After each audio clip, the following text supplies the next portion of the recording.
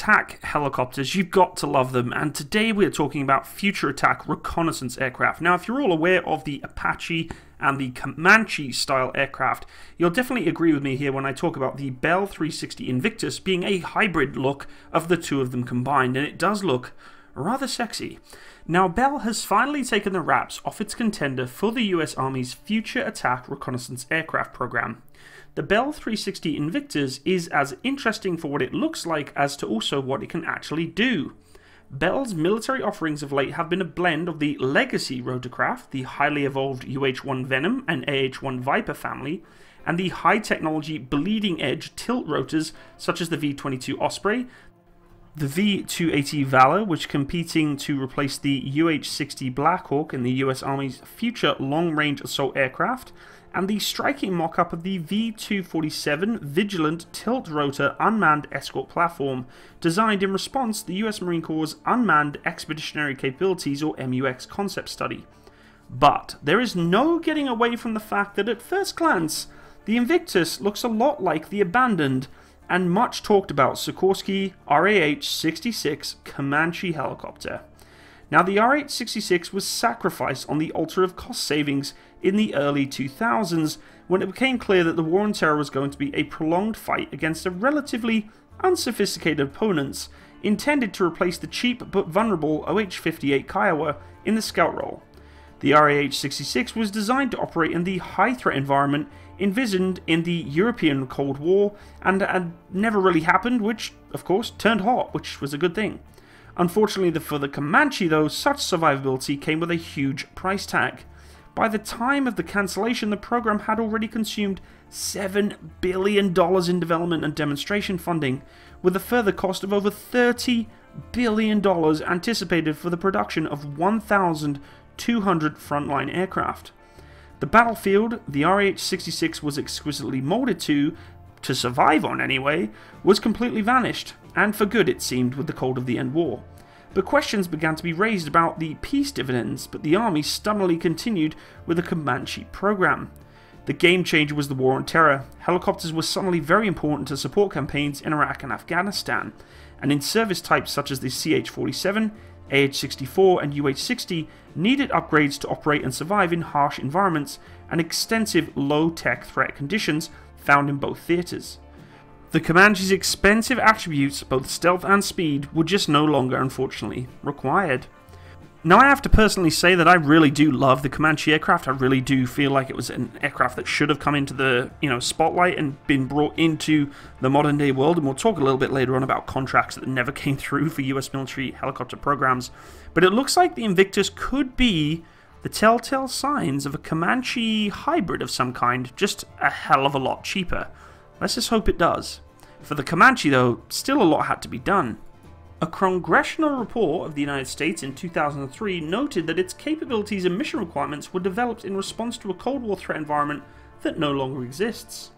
The US Army elected to recapitalize the Comanche production funding by updating its legacy fleets, investing in UAVs, most of the all-range at the time kind of setup, and by purchasing a new, cheaper helicopter to replace the OH-58 Kiowa. This latter policy became really unglued very quickly. Attempts to buy the ARH-70 single source from Bell fell apart, and the palliative measure for reassigning the AH-64 Apache to a scout role was immensely unpopular with the broader Army community. National Guard AH-64 attack units found their aircraft being reassigned back to the regular Army and replaced with UH-60 Blackhawk utility helicopters. It was quickly pointed out by vocal critics of the policy that it was absurdly expensive to use full-up attack helicopters in a scout role, despite the best efforts of the army to justify it by attempts to team it with the unmanned area vehicles under the Manned Unmanned Teaming or MUMT programs, it just wasn't successful. However, we're back again with a new design and in a big way. While Western militaries were fighting low light conditions, extreme temperatures, and threat environment characterized by shoulder launched heating seeking missiles, manpads, or man portable air defense systems, rocket propelled grenades, and guns of every caliber, our international competitors were investing hard in radar guided surface to air missiles or SAMs and advanced anti aircraft guns. They have also significantly upped their game in the fields of electronic warfare, denying, degrading, destroying, confusing, or spoofing friendly radars via electronic means, jamming of radars and GPS, and finally, cyber warfare.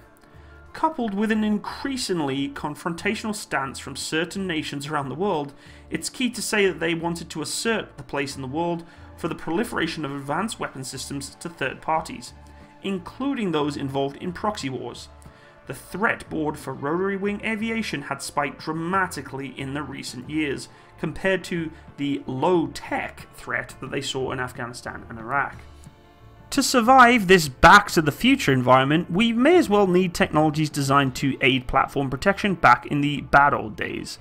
This is where an aircraft like the Bell Invictus perhaps inevitably starts to reassemble platforms designed for that type of approach. Key design similarities and their rationale are 1. Angular fuselage shape. This is for two reasons. Firstly, and most obvious thinking about the designs, the angles of the Invictus will be very carefully calculated to minimize the aircraft's radar cross signature or RCS. As with most low observable platforms, the RCS reduction will be optimized from specific aspects. As FARA will be a scout aircraft, it's reasonable to assume that the frontal aspect of the RCS has been optimized in the design. Secondly, somewhat more prosaic, is the shape and packaging of the Invictus mirrors the Comanche in reducing to a practical, minimal fuselage size. This makes the Invictus harder to visually acquire and a smaller target to attempt to hit with ballistic weapons. It is also worth noting that the rotor hub is also shrouded to reduce the RCS and possibly sun glint. Finally, an arrowhead is considered as a very efficient aerodynamic shape, and one that is reflected in the Invictus's basic form. Therefore, we can suggest that the aerodynamic efficiency has also been a key design driver for Bell engineers. Second point, internal weapons carriaging. The RAH-66 carried its weapons internally, the Invictus plans to do the same. Weapons in bays are a fundamental part of LO design, and all stealth aircraft have them.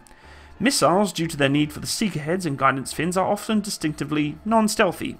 Indeed, the entire RCS of the Comanche, while classified, was rumoured to assemble the Hellfire missile, not only are the missiles non-stealthy, they're also quite draggy. Aerodynamically, when they're externally carried, the weapons not only slow the platform down, but will also increase fuel burn and therefore reduce its range. Being a scout helicopter, you're going to want range. Finally, missiles and rockets contain explosive warheads and sensitive electronics. Mounted on weapons pylons, they are very vulnerable to both enemy fire, potentially causing a catastrophic daisy chain detonation, and electronic cyber attack, which is one of the main premises of this aircraft trying to counter. Protected and shielded in a weapons bays, missiles are much safer to host on the platform. Much like the F-35 in its configuration of literally beast mode, the Comanche can have conventional war capability with fitting extra external pylons to boost the weapon load and for the need of the LRO characteristics considered less important. Given that the Invictus already has lift compounding wings fitted, these may be well stressed and plumbed for weapons and fuel tanks carriage as well. It's not yet clear whether Bell is actually going to get the weapon system on the front or the main gun to stow when not in use like the Comanches did. The third major point is the retractable undercarriage. Although it adds weight and complexity to a helicopter, the use of a retractable gear on the, both the Comanche and the Invictus is consistent with reducing the overall RCS, visual signature, and drag. Fourth point, its shrouded tilter tail rotor. This is really a clever piece of homage to the Comanche. The shrouded rotor, or fenestron as it's known in Europe, provides significant signature in reduction of benefits of drag and stealth. Firstly, it's generating a smaller RCS with a conventional tail rotor. Secondly, it also reduces the acoustic signature, which remains important on the modern battlefield. You can hear helicopters coming from a long, long, long way away, especially when you want it to be a scout helicopter. The tilted rotor actually helps generate free lift in the hover and at low speeds, helping the flight control system to level the aircraft for weapons release and reducing the power required to hover. This gives the pilot a little bit of spare power to either enhance platform agility, for example to avoid an RPG, or to take an increased payload. Therefore, to a point, the form does allow for functionality. However, there are a few key differences to the Comanche that the Invictus is displaying in these first sign images. Firstly, the wing. Its fundamental difference between the two aircraft. The design speed for the FARA is around 200 knots. Comanche topped out at around 180 knots. The wing provides a lift compounding to the rotor blades. At high speed, they generate enough lift to unload some of the aerodynamic burden from the rotor disc, enabling the angle of attack. The blade angle relative to the oncoming airflow to be reduced. This is important for helicopters as too much angle of attack at too high of a speed can cause the onset of a condition known as retreating blade stall, which can cause a violent departure from the controlled flight. It's yet to be confirmed by Bell, but thrust compounding also opens the door by slowing the main rotor down. This is a very, very important point for this aircraft. On conventional helicopters, this tip velocity can reach near supersonic speeds, causing significant drag and vibration issues. High tip speeds are also a major factor in helicopter noise profile. Therefore, an ability to slow the rotor down at high speed is beneficial in performance and signature terms. Secondly, its IR signature. Comanche had a complex internal structure that buried the engines and cooled the exhaust gases internally before they were released into ambient air. This reduced the aircraft's infrared signature and making it harder to target and acquire and track either by electro-optical sensors or IR missile seeker heads. The Invictus has a much more conventional engine exhaust system. Doubtless that there will be an IR suppression technique applied internally as it appears that the intake and exhaust are on opposite sides. I would probably tell you that the engineers at the uh, you know Bell Systems have talked about the engines and transmissions being surrounded by thermal protection blankets to minimize the hot metal signature that modern missile seekers are looking to detect. Thirdly, supplementary power. Bell's initial press release refers to an intriguing piece of kit that they term as a supplementary power source. Geared from the main transmission, Bell cite that the system can be called upon to provide more speed and power when required, almost like a boost mode. The obvious uses for extra power could be to enable a short duration of dash to evade a threat or improve maneuver potential. This could also facilitate hovering at high altitude or, with one eye on the future, having a power bank for discharged direct energy weapons. This will no doubt be a feature that the industry will look a lot more closely in the future for the aviation world for helicopters. Finally, it's built to a cost. The fact that the Invictus is not going to be a full Comanche style aircraft is as much to do with its cost than it is its capability requirements. Bell have listened very closely to the Army's needs, and the price control is a very big driver, just to anything nowadays in a military contract. Comanche was cancelled for financial, not technical reasons. Let's make that very clear. If there was a lot more money, we could have had one of the most successful helicopters ever produced.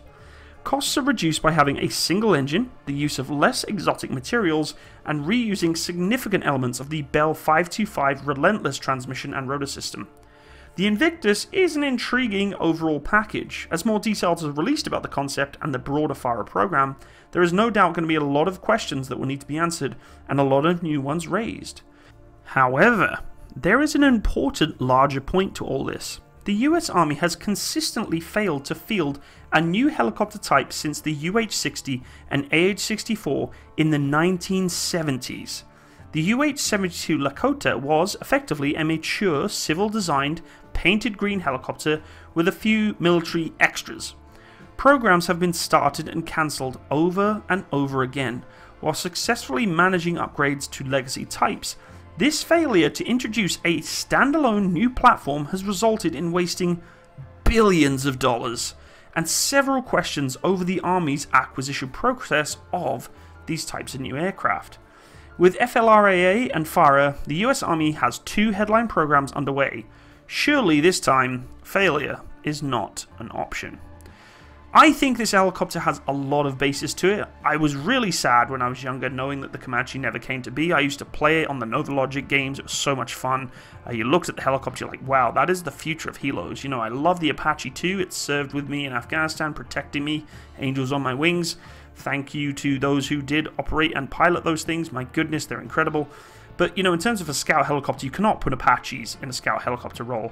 They need something light, fast, sleek, and, you know, a low signature to engage. This is potentially the future, and I'm kind of curious to see what's going to come from it. I hope you enjoyed today's video everyone, please leave me a like and if you want to be notified of any upcoming videos, hit the little bell button, by the subscribe button so you can be notified of any upcoming military content I produce in the future. You can also leave me a comment, I'll try my best to reply to you. If you do want to support my channel, you can go check out my Patreon page and support account which is in the description box below, along with the rest of my social media, uh, merchandise, Discord channel, etc, etc. I really appreciate you being here today, folks. Have a wonderful day. All the best. Bye bye.